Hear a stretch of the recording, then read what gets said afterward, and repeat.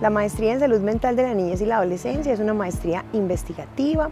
eh, que está diseñada en cada uno de sus semestres para poder cumplir con el requisito de trabajo de grado, es decir, no es un proceso de investigación aislado, sino que es contextual, está soportado en el grupo de investigación de Psicología, Salud y Sociedad de nuestra Facultad de Psicología, que desde los últimos cinco años está categorizado por Colciencias en A1, es decir, máximo nivel. Hemos desarrollado investigaciones en relación con la infancia, la adolescencia, la juventud y específicamente en los últimos cohortes hemos desarrollado macroproyectos